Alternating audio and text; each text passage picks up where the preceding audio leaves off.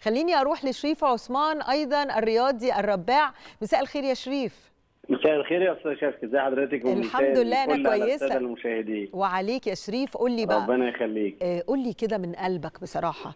النهاردة لما عرفت أنه السيد الرئيس تقلد هذه الجايزة وكلمني أنت كده من قلبك. احكي لي الحكاية.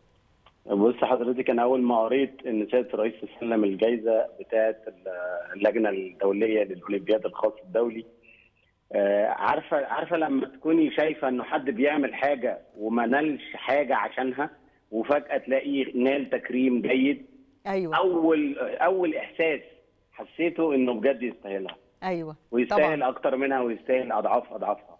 إحنا أيوة. تقريبا ما كناش موجودين. أيوة. صورتك هي على الشاشة منورة مع سيادة الرئيس. آه، بص حضرتك الصورة دي ليها قصة جميلة. احكيها لي. اولا آه، اولا أنا آه يعني سيادة الرئيس أنا حضرت معاه من أول حفله تنصيب تمام. لمؤتمرات الشباب لحاجات كتيرة قوي. اتكرمت من سيادته وسام الجمهورية من الطبقة الأولى أربع مرات لغاية دلوقتي تقريبا أو ثلاث مرات.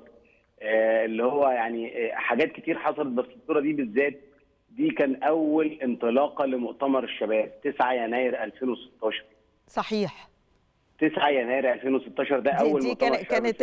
لأنه كان في دار الأوبرا كان في دار مظبوط الأوبرا أنا كنت واحد من الناس اللي كانوا واقفين عن المنصه على المنصة وجنب الرئيس جنب السيد الرئيس وهو كانوا عمالين يحفظونا إنه السيد الرئيس هيقوم يلقي هيطلع عفوا يلقي كلمته وبعدين هيسلم عليكم مم. آه، اتفاجئنا اتفاجئنا إنه السيد الرئيس أول ما طلع على ال على ال stage قال يا جماعة هو البروتوكول بيقول إن أنا أتكلم الأول وبعدين أسلم على الأبطال بس أنا مش قادر أصبر لما أتكلم وبعدين أسلم على الأبطال. أنا مش هتكلم غير لما الأبطال يقفوا جنبي. طبعا ودي كانت سلم علينا آه دي كانت أول حاجة أول رائع. لقطة أول حاجة جميلة أول شعور جميل ونبيل من سيادته تجاه ال- ال- ال- ال Paralympics بصفة خاصة والرياضيين بشكل عام لأن إحنا كنا رياضيين من الأولمبيكس والبارالمبيكس. طبعا طبعا.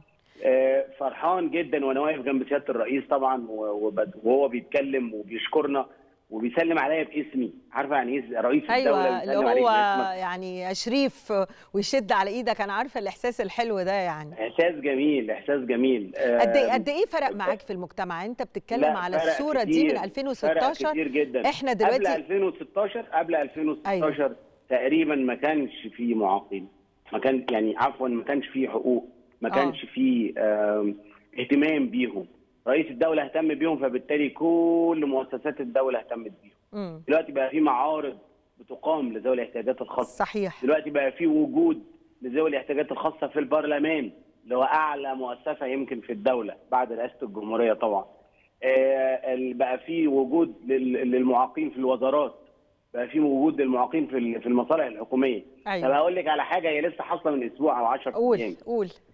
أنا من 10 أيام كده كتبت على حطيت أنا كنت قاعد أصلا في حالي إزاي قصة البوست إن أنا كنت قاعد وفجأة جات لي رسالة على الواتساب آه، أحمد ابني مصور صورة الكتاب بتاعه هو خمسة ابتدائي وكاتب باعت لي صورة الكتاب وهو فيه صورتي الكتاب جواه صورتي كتاب اللغة الإنجليزية. أيوه. و- وكاتب لي تحتها رسالة هن- هندرسك يا بابا. هندرسك يا بابا. تخيلي كمية الفخر. أنا طبعاً، وأنا صغير طبعاً. كنت بشوف في الكتب الناس الأساطير صحيح. السياسيين آه، يعني أنا.